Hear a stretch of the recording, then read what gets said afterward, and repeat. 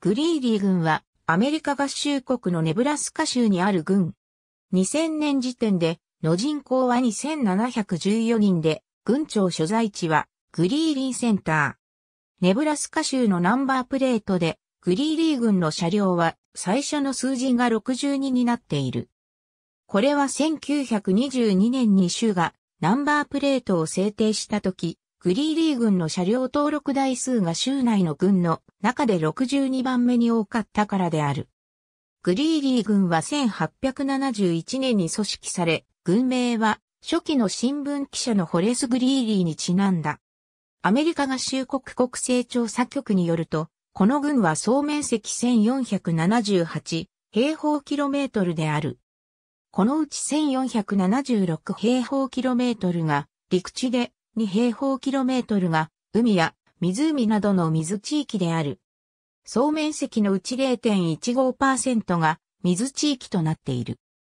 2000年の時点での軍の人口ピラミッド2000年の国勢調査によると、グリーリー軍には2714人、1077世帯、及び734家族が暮らしている。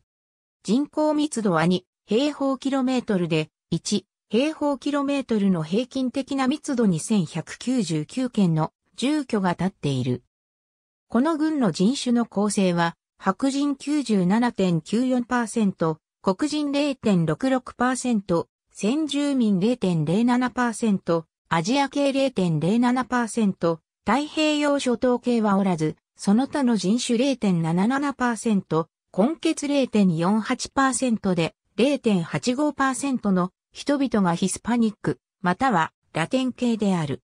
グリーリー郡に住む1077世帯のうち29.30%は18歳未満の子供と暮らしており、59.00%は夫婦で生活している。6.40%は未婚の女性が世帯主であり、31.80%は家族以外の住人と同居している。30.50%は独居で、全世帯の18.80%は65歳以上の独居老人世帯である。1世帯あたりの平均人数は2.46人であり、家庭の場合は3.08人である。軍の住民は26.90%が18歳未満の子供で18歳以上24歳以下が5.90%、25歳以上44歳以下が21.60%、45歳以上64歳以下が22.40%、および65歳以上が23.20%となっている。平均年齢は42歳である。女性100人に対して男性は97.10に見て、18歳以上の女性100人に対しては男性は92.20にいる。軍の世帯ごとの平均収入は28,375米ドルで、家族ごとでは34,159米ドルである。男性の22,036米ドルに対して女性は17,056米ドルの平均的な収入がある。この軍の一人当たりの収入は13,731米ドルである。総人口の14.60%、家族の11.90%は貧困線以下である。18歳未満の子供の22.10%及び65歳以上の10.50%は貧困線以下の生活を送っている。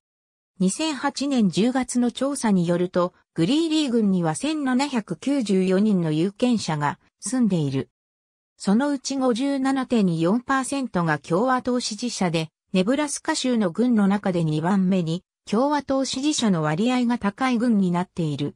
ありがとうございます。